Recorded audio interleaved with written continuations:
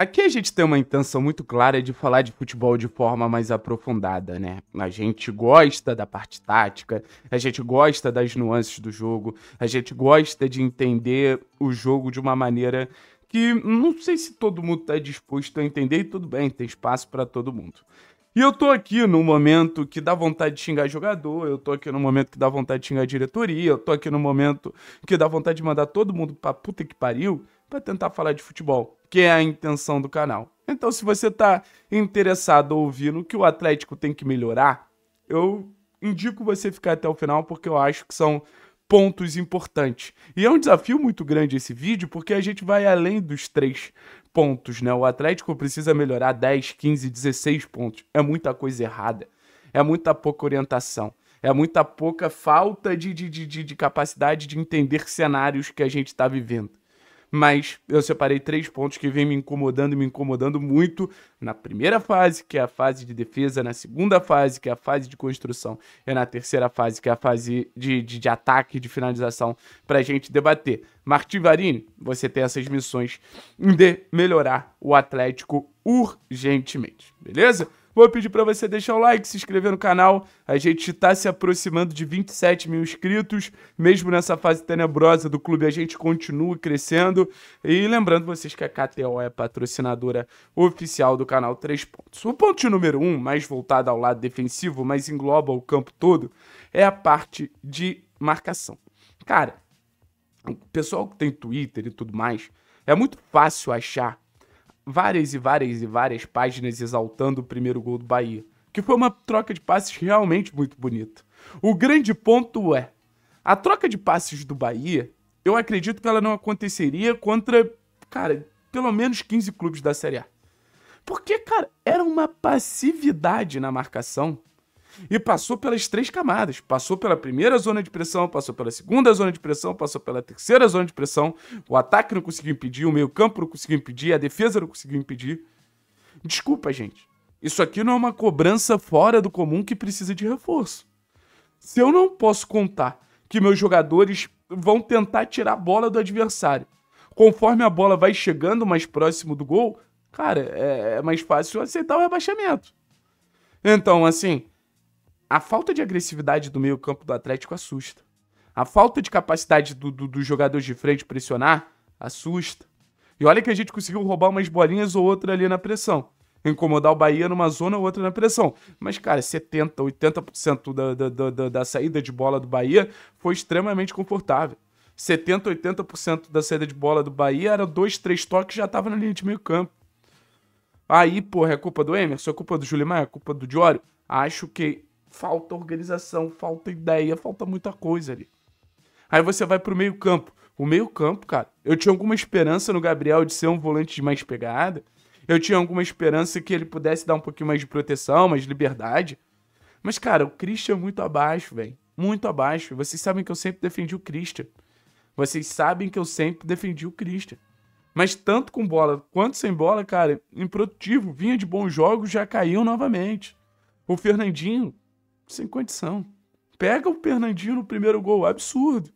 Aí você vai pro, pro Gabriel também, cara, uma partida muito ruim. Quantidade de pote errado que o Gabriel deu. Quantidade de vezes que o Gabriel saiu pra caçar e não achou ninguém, cara. Difícil, difícil, bem difícil. Aí, óbvio, vai estourar na defesa. Aí você já não tem o Thiago num grande momento, aí vai estourar numa partida ruim do Gamarra, vai estourar numa partida ruim do Kaique.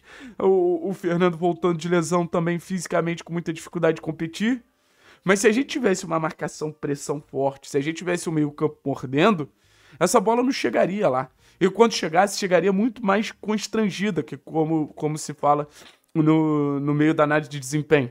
O cara ele não teria tanto conforto para fazer essa bola chegar numa zona de finalização como foi o primeiro gol do Bahia. Então, assim, aumentar o nível de agressividade da marcação do Atlético não é ah, uma necessidade, é uma obrigação. Se o Atlético continuar marcando frouxo assim para a sequência da temporada, vai ser muito difícil conseguir qualquer coisa. E a gente fala isso desde a temporada passada. Na temporada passada, no fim do campeonato, o Atlético tinha 150 desarmes a menos do que o Atlético Mineiro, é, por aí, 120, 150, enfim, é, menos desarmes que o Atlético Mineiro na zona de meio campo. E a gente vê o mesmo problema ser repetido. Aí, pô, quem poderia resolver isso? Filipinho. Cara, o Filipinho não sei nem se joga bola esse ano. Aí o dirigente não quer contratar. Hoje, o, o setor que o Atlético mais precisa de reforço é a volância. Mais do que ponta, mais do que zaga, mais do que qualquer coisa. Um cara que chegue para morder, nem que seja de série B. Nem que seja de série B, mas o cara que chegue fisicamente ali capaz de proteger aquela área, nem que seja o Jaci. Qualquer um, bicho. Qualquer um. Então acho que esse é um ponto muito, muito, muito importante. O ponto número dois, dá mais protagonismo ao meio campo. Não dá para você só atacar pelo lado do campo. Não dá para você só atacar de maneira que, cara, você ativa os pontas e o lateral ou fica cruzando bola ou tenta explorar a profundidade. Ontem o Bahia tirou nossa profundidade, a gente já viu o jogo do Julimar bem menos efetivo. E olha que ele tentou, olha que ele buscou jogo. Mas é óbvio, se não tem espaço, como é que o Julimar vai correr? Como é que o Julimar vai gerar perigo para a equipe adversária se ele não consegue atacar a profundidade? Não tem muito mistério, não tem como. Então, beleza. Fechou o lado do campo, cara, ataca por dentro que, que o Bahia fez ontem? Atacou por dentro o tempo todo. Atacou por dentro o tempo todo. Desculpa, gente. O meio campo com Rezende, com Jean Lucas e com Caulino é absurdamente melhor que o nosso. Ah, mas eu não gosto do Zapelli porque o Zapelli não corre. Tem que jogar, velho.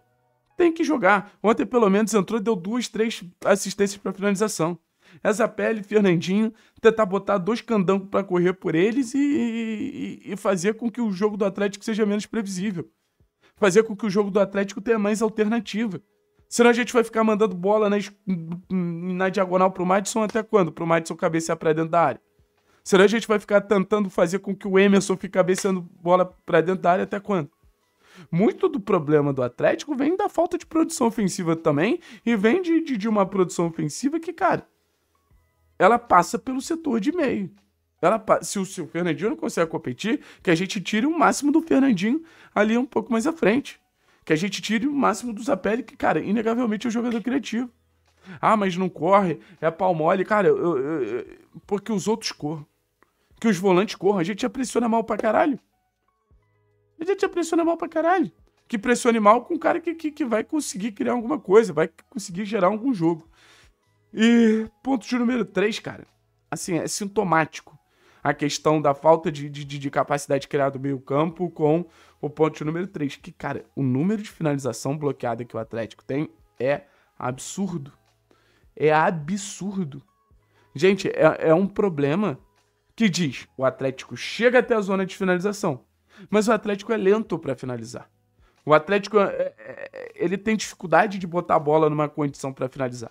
E quando não finaliza de maneira veloz, acelerada, rápida, cara, é, chuta na puta que pariu, sabe? Chuta na puta que pariu. Então, assim, parece que o único que consegue finalizar de maneira mais ágil é o, é o Mastriani.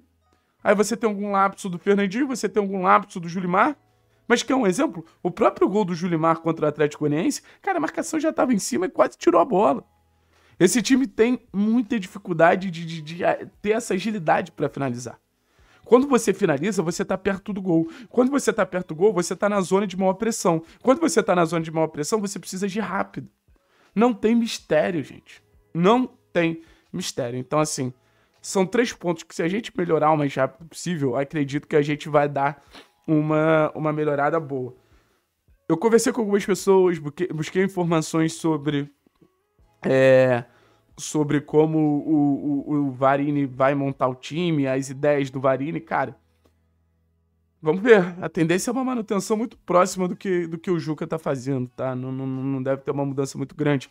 Mas se eu quero contar com algo com o Varini, é a capacidade de, de, de, de mexer no, no brilho desses caras.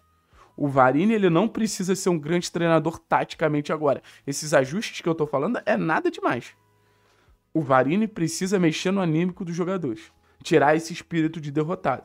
Volto a dizer, a primeira coisa que o Thiago Nunes conseguiu fazer foi mexer na confiança dos caras. Os próprios jogadores de 18 e 19 falam sobre isso. O Varini vai ter que dar um jeito de mexer no anímico dos jogadores. Vai ter que dar um jeito de mexer na, na, na, na vontade de competir desses caras. Senão vai ser muitíssimo difícil qualquer tipo de reação. Muitíssimo difícil. O Atlético, hoje, ele tem um espírito de derrotado. Os jogadores do Atlético hoje têm um espírito de derrotado. Isso para mim é fato consumado. Infelizmente. infelizmente.